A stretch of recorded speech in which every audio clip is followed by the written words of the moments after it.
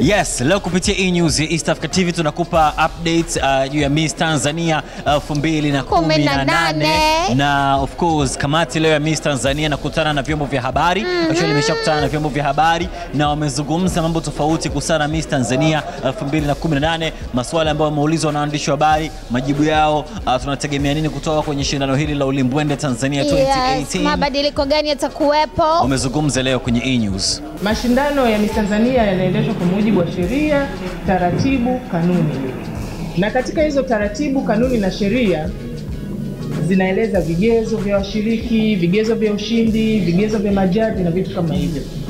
Vigezo vya ushiriki havijabadilika kwa sababu ni mashindano ya dunia, whether anaandaa Basila au The Look au ana, anakuja kuandaa mtu mwingine, vile vitu vinabaki vile vile kwa sababu haya ni mashindano ya dunia.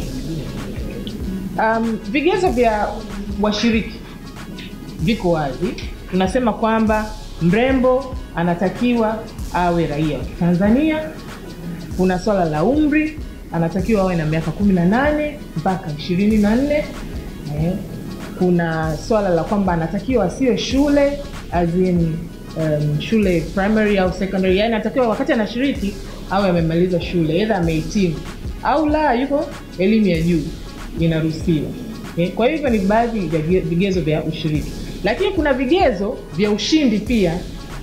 Eh, Kuna kushiriki na kushinda, ambavyo vile sasa majaji wanaenda kutoa marks, wanasema beauty of face, wanasema grace and charm, eh, yani ile mvuto wa mrembo.